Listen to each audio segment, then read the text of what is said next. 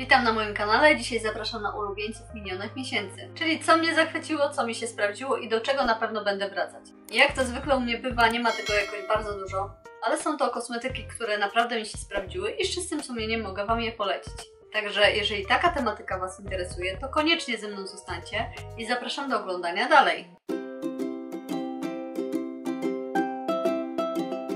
Zaczniemy od podkładu Button Perfect z Eveline. Mam wrażenie, że ostatnio jest to trochę zapomniany podkład, a ja go bardzo lubię, bo on bardzo ładnie wygląda na twarzy.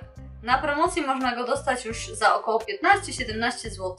On zastyga, ale jak zastyga nie robi się matowy, tylko jest delikatnie błyszczący. Przez to, że zastyga, jest trwały, a skóra jest delikatnie rozświetlona. Do tego jest to podkład nawilżający. W składzie ma kwas hialuronowy, kolagen roślinny, które nawilżają i regenerują skórę oraz skwalan, który zapewnia skórze elastyczność i miękkość. Więc mamy tutaj połączenie pielęgnacji z makijażem, które ja bardzo lubię. Jest to bardzo dobry podkład, a jeżeli kupicie go na promocji, to do tego jest jeszcze w przystępnej cenie. Kolejnym ulubieńcem jest korektor Wonder Match z Eveline. Na promocjach można go dostać za około 17 zł. On bardzo ładnie wygląda pod oczami. Nie daje co prawda takiego stuprocentowego krycia, ale daje średnie krycie.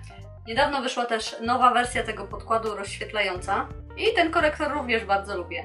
Tak jak mówię, ten korektor daje takie średnie krycie, więc jeżeli nie macie jakichś mocnych zasinień pod oczami, to myślę, że takie krycie spokojnie będzie Wam wystarczało. Bardzo ładnie wygląda do takiego codziennego makijażu. Nie zastyga na matowo, jest kremowy i lekki, więc dobrze się sprawdzi dla osób z suchą skórą.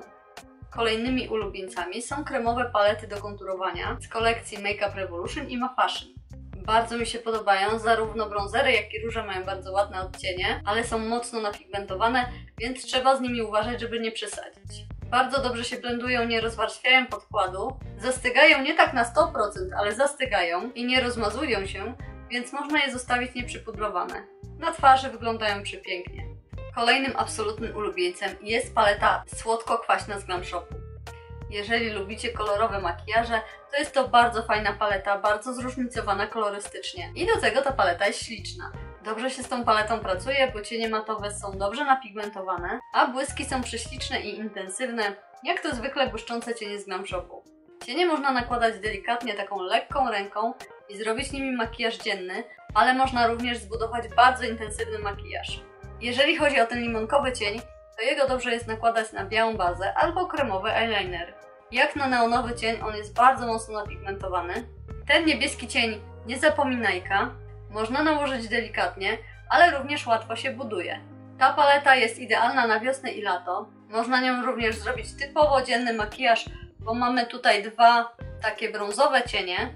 Bardzo ładnie na przykład będzie wyglądał ten cień porcelanka z tym błyszczącym cieniem rokoko albo na przykład połączenie samych fioletów. Opcji makijaży z tą paletą jest całe mnóstwo. Makijaż nią to ogromna przyjemność i jest to bardzo inspirująca paleta. Tusz do rzęs L'Oreal Pro XXL. Bardzo fajny tusz. Ja go kupiłam na Allegro za 45 zł. Natomiast w Rossmanie i Hepe kosztuje 85, na promocji kosztuje 55, więc warto jest sprawdzać ceny. On daje efekt wydłużenia i objętości rzęs, Krok numer jeden daje objętość, a krok numer dwa wydłużenie.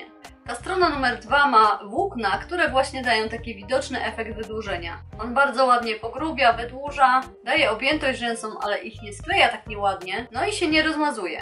Wcierka do włosów z ekocery. Ja Wam tą wcierkę pokazywałam w holu i muszę powiedzieć, że jestem w szoku jak ona działa.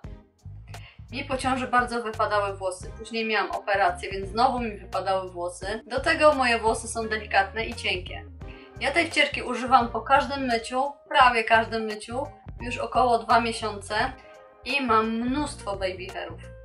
Byłam ostatnio u fryzjerki, która również powiedziała mi, że tych baby hairów jest całe mnóstwo. Ona ma w składzie ekstrakt z imbiru, cynamonu, z pietruszki oraz witaminę B3, Regularnie stosowana ma sprawić, że włosy stają się grubsze, lśniące i wyraźnie wzmocnione. Ja o tej wcierce już kilka razy słyszałam na YouTubie, była bardzo polecana i mi również bardzo dobrze się sprawdza. Mimo, że jej używam dopiero gdzieś od dwóch miesięcy, to już widać dosyć spore efekty. Oczywiście nadal będę jej używała. Eveline krem do twarzy z serii Beauty and Glow.